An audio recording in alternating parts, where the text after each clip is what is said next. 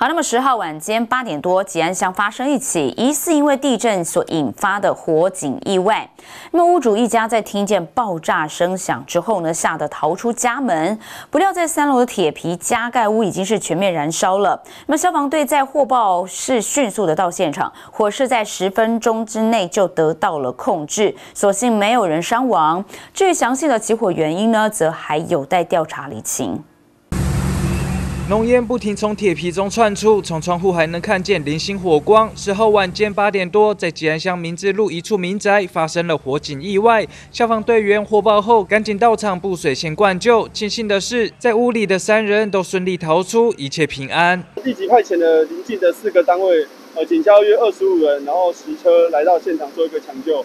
那它是一个独栋的住宅哈，那主要是三楼的铁皮屋。哦，好像疑似在地震后听到一个爆炸声，然后就全面燃烧了。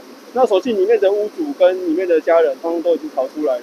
在事发同时，华联近海刚好发生一起规模五点三的浅层地震，而整起火灾意外疑似就是因地震所引起。好在消防队员的不停灌救下，火势在十分钟就得到控制，二十分钟顺利扑灭。至于详细的起火原因，则还有待调查厘清。记者徐立琴、简安香报道。